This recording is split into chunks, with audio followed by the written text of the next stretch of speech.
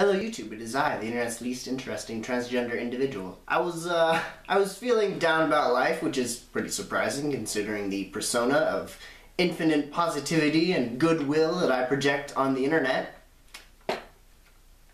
So I decided to make a quick video detailing my achievements in life, actually. I, I have a lot of them.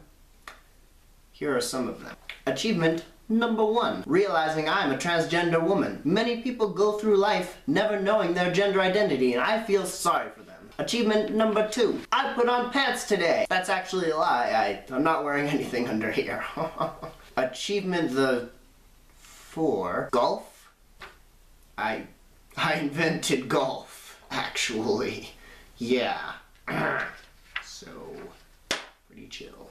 Achievement numero Pento, which is Spanish for five.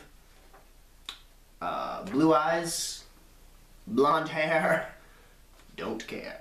Not really something you can achieve, but I am proud nonetheless. Actually though, like, in all seriousness, unless you worked really hard to like dye your eyes, or like, dye your hair, I guess, that, that would make more sense, dye your eyes. Like, unless you worked really hard to do those things, it's not really something that you can be proud of. I don't think. Why? Doesn't make sense. Achievement 6, a lack of zero psychotic episodes this past week. Wouldn't that mean that you've had a psychotic episode in the past week? Who the fuck are you? I'm you, but with better mental health and also dental insurance. Shit, you're right. Hey, do you think you could tell me where you can find dental insurance? Well, damn. I'll never be dentally insured.